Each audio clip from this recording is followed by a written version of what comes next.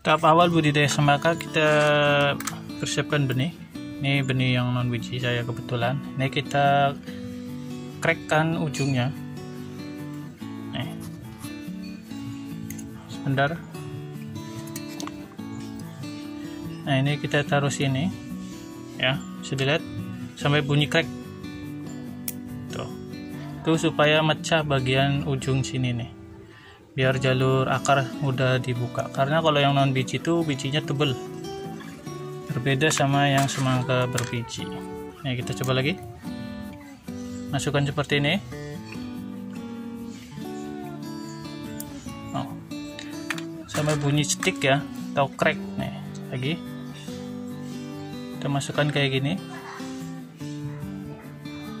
Tuh. Dengar nah ini ada 320an benih yang mau kita semai habis itu kita pakai potray bisa mau pakai eh, polybag kecil juga bisa Oke, dalam tahapan persiapan, benih ini berikutnya setelah benih kemarin kita pecah, kita semai di potray seperti ini. Ini enggak kita rendam ya, saya langsung semai aja di potray seperti ini. Oh ya ini benihnya yang kemarin ya, Stabindo Black. Ini ada 320-an, kemudian yang non biji ini, ini satu potray ini. Oh eh, maaf ini yang bir yang berbiji buat bunga jantannya nanti pas penyerbukan yang non biji. Nah posisinya saya lebih suka eh, rebahan seperti ini ya. Ini lanjut tinggal tutup pakai eh, media lagi. Terus kita open pakai plastik mulsa. Saya lanjut tutup dulu. Saya ini pakai medianya tanah biasa ya. Ini tinggal tutup seperti ini aja kita ratakan gini. Saya ratakan semuanya dulu saya skip. Ini udah ditutup pakai tanah tinggal tutup pakai mulsa. Ini udah ditutup rapat ini didiamkan dua malam tiga hari kita cek. Kalau udah kelihatan bercambak harus kita jemur. Kita buka. Ini tujuannya biar hangat supaya macu pertumbuhan. Kalau tutup seperti ini jadi dia hangat. Nah ini hari ketiga. Jadi tiga hari tiga malam.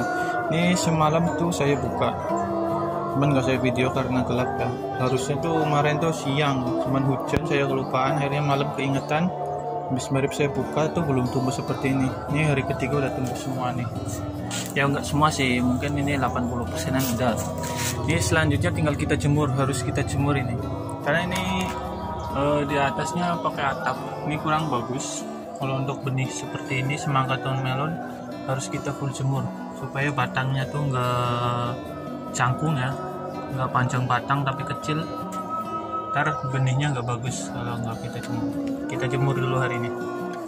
Ini masuk hari keempat. Jadi di hari ketiga kemarin dua hari ke dua malam tiga hari itu udah kita buka.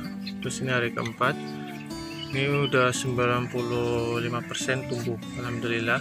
Untuk kategori non biji dengan empat hari udah seperti ini, ini termasuknya sangat bagus. Ini udah full jemur ya dari kemarin ya di hari ketiga setelah buka openan plastik mulsa udah langsung kita jemur supaya tujuannya biar batangnya itu enggak jangkung enggak panjang terus kecil. Karena dia ngejar sinar kalau kurang sinar matahari makanya batangnya panjang dan kecil. Nanti kurang bagus benihnya. Ini hari keempat kita jemur. Pantau terus untuk medianya jangan sampai kering